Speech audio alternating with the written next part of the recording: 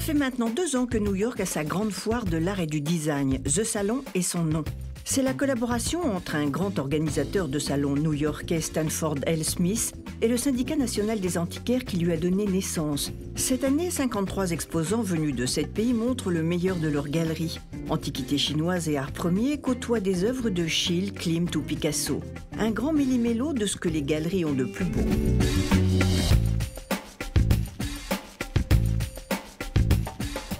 Juste là pour les accords, encourager et faire que le niveau monte. Donc comme vous avez vu, le niveau s'est amélioré, les objets sont beaucoup plus importants. Les antiquaires français qui sont venus ont fait des efforts colossaux. Et aussi bien au niveau qualité, renommée, euh, l'importance des nouveaux antiquaires qui sont présents, ça, ça fait que le salon devient un des salons majeurs à New York. Et pour ce salon, qu'avez-vous fait venir de Paris?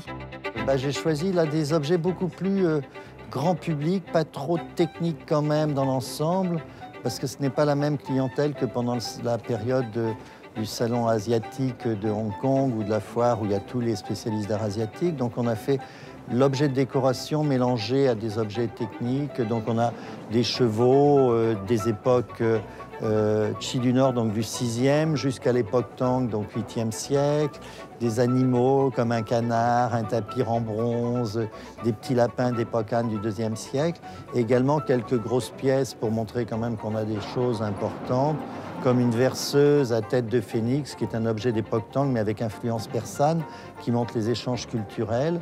Et c'est pour ça qu'on a montré des textiles d'Asie centrale, qui sont des pièces très très importantes, dont un manteau qui est complet, euh, en soie du 7e siècle, où là on voit tout le mélange de la culture chinoise sur la soie, mélangé à la technique persane, des décors en médaillon avec les animaux affrontés. Mais c'est Asie centrale, donc c'est une culture qui est encore peu connue. Et on a présenté quelques bronzes, puisque ma spécialité, ce sont quand même les bronzes archaïques, dont la cloche de très grande taille que nous présentons qui est à côté de moi. Le bouillonnement anarchique d'une foire avec des œuvres dignes des collections des grands musées, on entre dans chaque galerie comme sur une nouvelle planète. Euh, cette saison, mais plutôt, ce sont des, plutôt des meubles suédois d'Axel Horch. Et j'ai fait un mélange parce que j'aime les mélanges. Et j'ai mélangé avec euh, du design et des choses plus classiques comme le meuble de Joe Ponti. Qu'est-ce qui vous a guidé dans le choix de ces toiles? C'est un jeune peintre qui s'appelle Alexander May, un jeune peintre de Los Angeles. Et il a peint ces tableaux. C'est un peu une invention, c'est l'invention d'un langage, parce que quand il était enfant, il est resté extrêmement longtemps autiste. Et donc il est obsédé par, par tout ce qui est langage, communication. Sans transition, un saut temporel dans le 18e avec la galerie Kremer, spécialiste de cette époque depuis six générations. On a voulu faire un petit peu comme au XVIIIe siècle, mais de façon justement dans un décor ultra contemporain, un cabinet de curiosité avec les objets les plus beaux, les plus précieux du XVIIIe siècle, dont un verre églomisé qui représente le fameux mythique château de Versailles.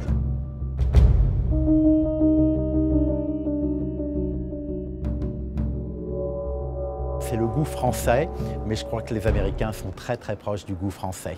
Et nos clients nouveaux, qui sont des gens qui achètent d'abord de l'art contemporain et ensuite de l'art ancien du XVIIIe siècle, Louis XIV, Louis XV et Louis XVI. Alors qu'il y a quelques années, c'était le contraire. C'était les amateurs de meubles du XVIIIe qui se mettaient à acheter de l'art contemporain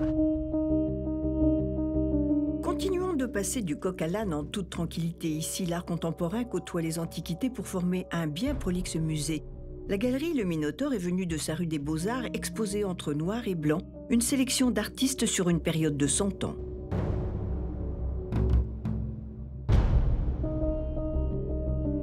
C'est espèce de, proposition, de vue d'ensemble sur euh, l'histoire du 20e et le début du 21e siècle d'artistes français ou ayant euh, travaillé en France ou ayant un lien culturel avec la France et euh, quelques artistes israéliens.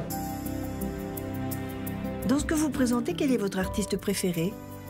C'est Joseph Dadoun. Dans ses œuvres, il y a vraiment un, mystère et en même temps, c'est des images fascinantes. Depuis 35 ans, Robert et Chesca-Valois se consacrent à l'art déco. De leur galerie rue de Seine à Paris à celle de Madison Avenue à New York, ils sont les grands spécialistes de ce courant. Je me suis amusée avec énormément de pièces de Charot.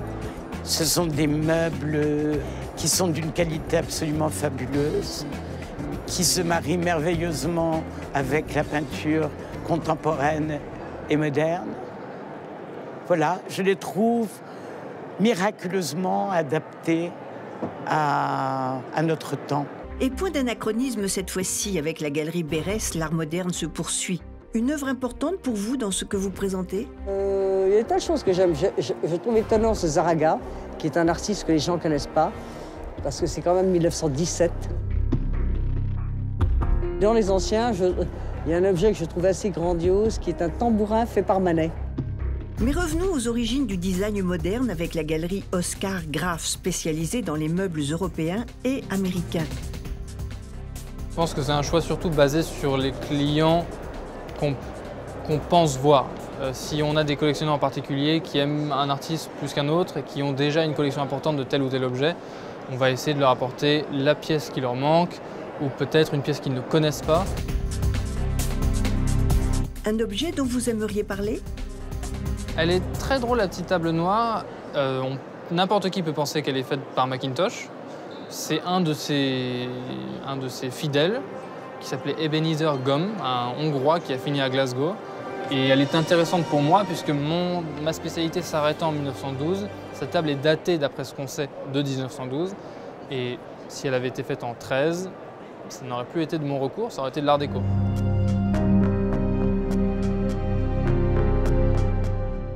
Ça a toujours été le fond de commerce entre guillemets dans mon métier. C'était la partie ajoutée de la recherche, de la documentation. Parfois, ce sont des photos très connues, parfois pas du tout. Euh, il y en a où il suffit de taper ça sur internet, on la trouve tout de suite. Et d'autres où j'ai passé plusieurs années à chercher dans les livres. Et puis l'arc-en-scène pour revenir à l'art déco qui présente notamment les œuvres du génial et original Jean-Michel Franck avec une diversité d'objets remarquables.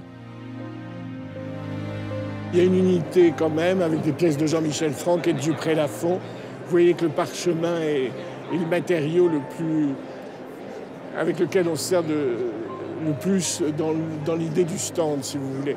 Et aussi le galuchat chez Franck et les matériaux un peu euh, euh, précieux qu'ils avaient l'habitude de, de prendre. De toute façon, Franck est pour nous une, une décorateur des, des années 30 qu'on a toujours préféré, qu'on a toujours présenté. Poursuivons ce bucolique voyage dans l'histoire de l'art avec une galerie dont la spécialité est le design après-guerre, un fil conducteur. J'ai pensé à faire quelque chose de. d'essayer en tout cas de faire quelque chose de cohérent, c'est-à-dire euh, me montrer Oscar Niemeyer et Charlotte Perriand. Donc en fait, j'essaye toujours de, de trouver un thème qui soit euh, nouveau, tout en continuant le travail qu'on fait à la galerie autour des grands architectes euh, et décorateurs du XXe siècle. Lucas Raton, troisième génération de marchands d'art africains et qui a ouvert sa galerie rue de Seine en 2012, expose pour la première fois à The Salon. J'ai amené, on va dire, des objets de caractère, avec beaucoup de personnalité, beaucoup d'expression, une certaine force. Grâce à l'ancienneté, une patine s'est naturellement créée sur le masque, au point de nous laisser un doute sur la matière de l'objet, qui est du bois tout simplement. Après deux années de ralentissement dû au recul des achats chinois, le marché de l'art est de nouveau à la hausse. Les États-Unis sont les numéros un, devançant de peu la Chine. New York est donc the place to be. Il y a des choses nouvelles, il y a plus d'énergie créative au point de vue euh, modernité. On peut ne pas aimer ou aimer, mais en tout cas, cette dernière, on sent une énergie. Et puis aussi, la réaction des gens est encore plus positive pour le client. Ils sont très, euh, très euh, partants, très euh, décideurs. Avec une hausse record de 15%, le marché dépasse le milliard d'euros de chiffre d'affaires. Collectionneurs et amateurs étaient au rendez-vous. Nous avons plus de 1500 personnes qui sont venues ce soir, comme vous pouvez le voir derrière moi. La foule a été ininterrompue depuis notre ouverture à 17h aujourd'hui. Et alors que nous fermons à 21h30, et comme vous pouvez le voir derrière vous, les gens continuent de rentrer par vagues, donc nous sommes très très contents. Une manifestation naissante, mais qui, avec une certaine trempe, préfigure un avenir sous les feux de la rampe.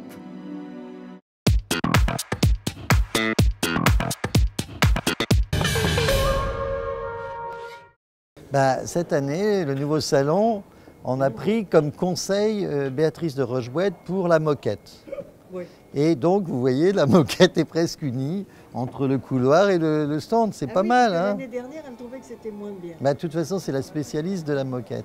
Ah oui, c'est tout ce qu'elle sait. Non, mais c'est pas Elle mal. la fume. Ah Oui, elle doit fumer la moquette. ça. Mais bon, tout ça c'est enregistré, on va être mal, on va nous faire un procès. Ce salon, je l'ai délégué à, Benoît Chapiro et à, à, à Monsieur Valois qui supervisent. Donc moi, je suis juste là pour les accords, encourager et faire que le niveau monte. Donc comme vous avez vu, le niveau s'est amélioré, les objets sont beaucoup plus importants. Les antiquaires français qui sont venus ont fait des efforts colossaux. Et aussi bien au niveau qualité, renommée, euh, l'importance des nouveaux antiquaires qui sont présents, ça, fait que le salon devient un des salons majeurs à New York. C'est une petite biennale pour donner un avant-goût aux collectionneurs américains de ce que sera la biennale l'année prochaine. Et c'était un peu la politique du syndicat d'implanter un petit peu partout des salons pour donner un aperçu de ce que sera la biennale et tenter les gens pour qu'ils viennent à Paris au moment de la grande biennale. Il y a une hausse de qualité. Le, le service de vetting, donc la commission d'admission des objets a été beaucoup plus sévère et a été faite en deux étapes. Dans certains cas, comme il y avait beaucoup d'antiquaires français qui venaient, on a fait euh, contrôler les objets à Paris, directement chez l'antiquaire pour qu'il n'y ait pas de problème au moment de son stand parce qu'il ne pourrait pas remplacer l'objet ou il n'avait n'avait pas un stock assez important euh, pour une exposition comme ça. Donc le vetting a été fait en partie à Paris, en partie à New York. Mais les antiquaires américains aussi ont fait des efforts. Oui, parce que le- nous avions un peu protesté vu que c'est un partenariat et on, et on a demandé que les antiquaires américains soient beaucoup plus surveillés et également le- la commission d'admission comme les antiquaires français pour montrer le sérieux du salon. Le salon est annuel, oui, donc on pense monter le niveau encore au fur et à mesure. On pense développer sur d'autres zones aux États-Unis. Et pour nous, c'est un tremplin pour voir ce que l'on va faire. Alors, c'est vrai qu'on a ce projet à Moscou, mais c'est très très compliqué actuellement. Donc, il va être peut-être en- enterré provisoirement. Mais on a un projet sur euh, Hong Kong ou Pékin. Et je serai euh, à la fin du mois euh, à Pékin pour discuter avec les autorités chinoises du projet où là, ça serait vraiment à une échelle encore supérieure. Ben, moi, je suis toujours spécialiste de la Chine, euh, malheureusement. Je, je sais faire que ça. Donc, euh, ben, j'ai choisi là des objets beaucoup plus euh, grand public, pas trop techniques quand même dans l'ensemble, parce que ce n'est pas la même clientèle que pendant la période de- du salon asiatique de Hong Kong ou de la foire où il y a tous les spécialistes d'art asiatique. Donc, on a fait l'objet de décoration mélangé à des objets techniques. Donc, on a des chevaux euh, des époques euh, euh, Chi du Nord, donc du 6e, jusqu'à l'époque Tang, donc 8e siècle, des animaux comme un canard, un tapir en bronze, des petits lapins d'époque Han du 2e siècle, également quelques grosses pièces pour montrer quand même qu'on a des choses importantes, comme une verseuse à tête de phénix, qui est un objet d'époque Tang, mais avec influence persane, qui montre les échanges culturels. Et c'est pour ça qu'on a montré des textiles d'Asie centrale, qui sont des pièces très très importantes, dont un manteau qui est complet euh, en soie du 7e siècle, où là on voit tout le mélange de la culture chinoise sur la soie, mélangé à la technique persane, des décors en médaillon avec les animaux affrontés. Mais c'est Asie centrale, donc c'est une culture qui est encore peu connue. Et on a présenté quelques bronzes, puisque ma spécialité, ce sont quand même les bronzes archaïques, dont la cloche de très grande taille que nous présentons, qui est à côté de moi. Ça, bah, c'est un peu le travail de l'antiquaire. C'est pour ça qu'on leur demande un effort considérable aux antiquaires, mais c'est un peu leur survie qui est en jeu. Parce que lorsque nous regardons les sociétés de vente publique qui sont implantées partout, ils ont des bureaux partout dans le monde, ils attirent leur clientèle et autres, ils font leur promotion. Donc le seul moyen pour nous de, lutter et de montrer qu'on est présent et ne pas disparaître, c'était d'aller sur le terrain également. Donc c'est là où c'est compliqué, mais on a le même problème que les ventes qui font de plus en plus de ventes. Il faut trouver la marchandise, mais faut. bon, euh, je vais présenter, mettons, deux pièces majeures ici, alors qu'en biennale, je vais montrer dix pièces majeures. Euh, donc c'est à nous de gérer en fonction aussi de la clientèle du pays, parce que les goûts sont différents dans chaque pays, et la biennale regroupe tous ces visiteurs internationaux. Donc euh, euh, nous, on met toujours l'accent quand même sur la biennale, et c'est vrai que là, les gens vont dire Ah, les petits lapins, c'est mignon, ça coûte pas cher. Je crois qu'il y en a pour 10 000 dollars, les quatre petits lapins, ou 12 000 dollars. Mais ce sont des objets amusants, sympathiques, qui peuvent initier un nouveau euh, collectionneur qui va dire Oh, c'est mignon, c'est accessible, et petit à petit l'amener à quelque chose de plus important. Donc, ça a été dans ce but qu'on a fait ce salon et qu'on a choisi les objets vous avez le retour qui correspond à, vos, prospectives bah, euh, Là, pour l'instant, c'est pas. La dernière fois, le salon a joué de malchance puisqu'il y avait la grande tempête à New York et que le jour d'inauguration du salon, on a eu une tempête de neige avec les aéroports fermés, les gens qui pouvaient même plus venir, les voitures venant pas jusqu'à nous.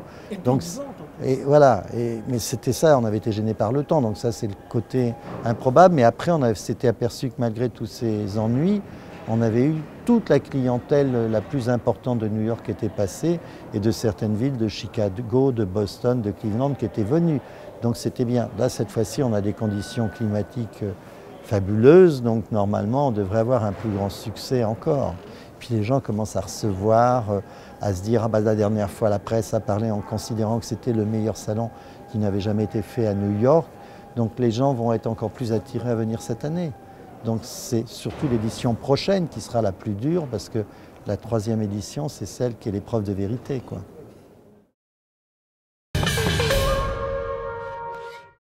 Il y, a, quelques exposants qui ont changé, il y a, beaucoup d'exposants qui reviennent et qui étaient très contents. il y a une partie euh, qu'on a renouvelée. Il y a un peu plus de tableaux, il y a des choses plus, euh, plus éclectiques, euh, un peu différentes.